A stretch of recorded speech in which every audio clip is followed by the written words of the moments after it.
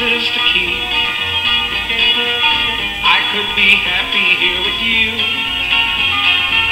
but I'm a so wild folks to reap.